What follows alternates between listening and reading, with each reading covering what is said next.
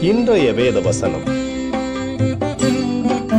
கர்த்தர் தம்மை தேடுகிறவர்களுக்கு பலன் அளிக்கிறவர் என்று விசுவாசிக்க வேண்டும். எபிரியர் பதினொன்று ஆறு.